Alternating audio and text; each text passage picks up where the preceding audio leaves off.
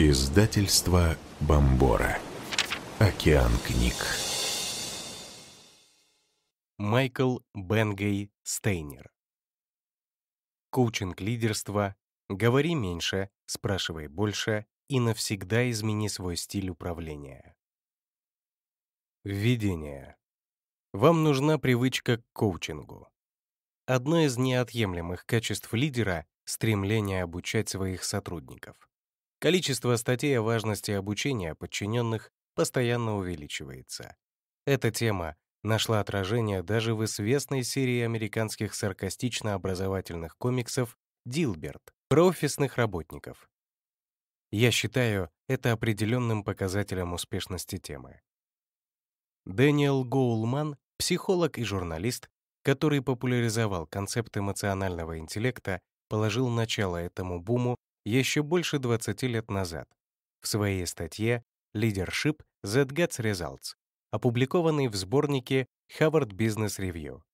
Он считал, что существует семь основных стилей управления. Обучение — один из них. Исследование показало, что оно оказывает положительный эффект на результат работы, корпоративную культуру и чистую прибыль организации. Но в то же время это самый редко используемый стиль управления персоналом. Почему? Голман писал, «Многие менеджеры сказали, что у них нет времени, особенно в условиях настолько давящей экономики, на утомительное обучение работников и на помощь им с карьерным и личностным ростом.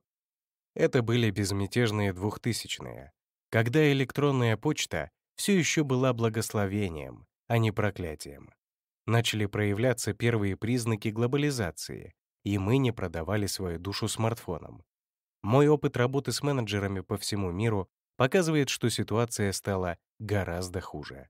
Напряжение чувствуется сильнее, чем когда-либо. И несмотря на то, что обучение персонала — теперь часто употребляемый термин, реальная практика этого обучения в компаниях возникает редко. А если и возникает, то, кажется, не работает.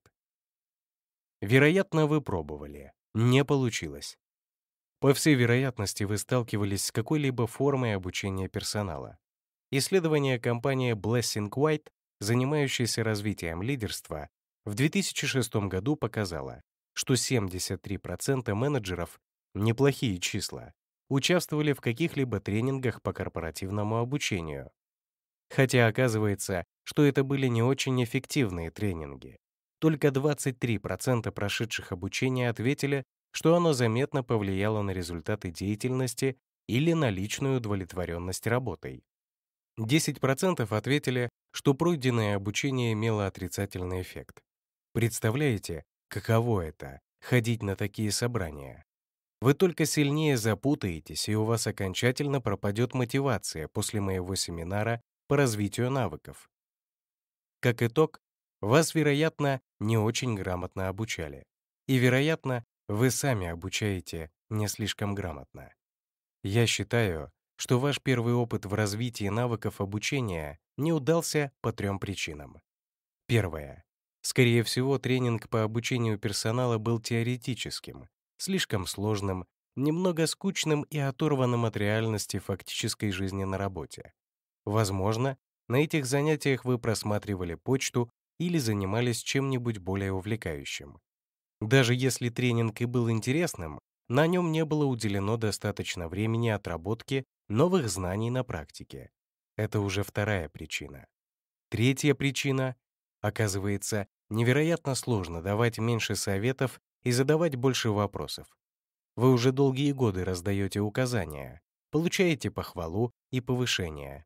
Руководство рассматривает вас как человека, повышающего эффективность, справляющегося с работой, постоянно контролирующего ситуацию. Но когда вы начинаете задавать вопросы, может показаться, что вы теперь теряете хватку в том, в чем раньше были полезны. Как следствие, общение с подчиненным проходит менее уверенно, и вы начинаете чувствовать, что в какой-то степени потеряли контроль над ситуацией. Это на самом деле так. Прием называется передача полномочий. Если смотреть с этого ракурса, такая стратегия не кажется такой уж выгодной. Это не так уж сложно. Правда. В моей компании Box of Cranes мы обучили десятки тысяч менеджеров практическим навыкам обучения персонала. За годы практики мы пришли к выводу, что следующие тезисы нужно принимать как данность. Обучать просто. Семь базовых вопросов из этой книги дадут инструменты для получения необходимых знаний. Обучение должно быть ежедневным актом, а не редким событием в стиле «а теперь время учиться». Вы можете обучать персонал, когда сами понимаете и используете проверенные механизмы обучения и формирования привычек. Вы можете тратить на практику привычек 10 минут в день. Но зачем утруждать себя менять что-то? Зачем обучать сотрудников? Вот почему это стоит ваших усилий. В основе сути обучения — помощь другим людям, раскрытие их потенциала. Я уверен, что вы хотите быть полезным своим сотрудникам и компании, но не рассматриваете возможность кого-то обучать. Давайте посмотрим, как обучение вашей команды помогает вам. Это позволяет меньше работать и показывать лучший результат. Если начнете проводить активное обучение персонала, будет легче разорвать три порочных круга, отравляющих работу руководителя, создание чрезмерной зависимости, перегрузку и потерю контакта. Круг номер один. Создание чрезмерной зависимости. Вы можете стать частью чрезмерно зависимой от вас команды. Этот фактор производит двойной эффект. Первое. Вы приучили своих людей излишне на вас полагаться, Такая ситуация будет вселять в них неуверенность, а в вас — усталость. Вторым неприятным моментом успешно созданной зависимости станет слишком большое количество работы на ваших плечах. В таком случае сотрудники потеряют мотивацию. Чем больше помогаете подчиненным, тем больше они нуждаются в помощи, и тем больше времени вы тратите на нее. Обучение персонала поможет всем быть самостоятельнее увеличит автономию и чувство ответственности, уменьшит необходимость браться за все подряд самостоятельно, принимая на себя руководство мельчайшими процессами. Круг номер два. Большая загруженность. Вы можете оказаться перегружены количеством ежедневных обязанностей, даже если в совершенстве владеете всеми известными секретами продуктивности. Тут работает принцип «чем быстрее копаешь, тем быстрее яму затапливает водой. Вы разрываетесь между увеличивающимся количеством приоритетов и задач, периодически отвлекаетесь на проверку беспрерывного потока почты, бегаете с одной встречи на другую и в итоге теряете концентрацию. А чем больше теряете концентрацию, тем сильнее чувство загруженности. И наоборот. Чем загруженнее вы себя чувствуете, тем сильнее теряете концентрацию. Обучение команды поможет вернуть концентрацию. Вы и ваши подчиненные сможете осуществлять ту работу, которая действительно приносит результат. Вы будете тратить свое время, энергию и ресурсы на решение действительно важных проблем. Круг номер три. Потеря контакта. Вы можете потерять важный в работе контакт с командой. В основе моей предыдущей книги «Do More Great Work» лежит принцип.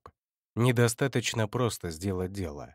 Вы должны помогать людям заниматься деятельностью, которая имеет смысл и приносит значимые результаты. Чем больше мы тратим времени на работу, у которой нет реальной цели, тем меньше получаем от нее удовлетворения. И чем меньше мы получаем удовлетворения, тем меньше вероятность, что мы сможем сделать что-то великое. Создание привычки обучать поможет вновь включиться в работу, которая не только будет давать результат, но и будет иметь значение. Правильное обучение поможет набраться смелости и выйти за границы известного и комфортного, позволит работникам получать опыт, а также увеличит потенциал. Это также поможет избежать зависимости, тяжелой работы и потери связей с работниками.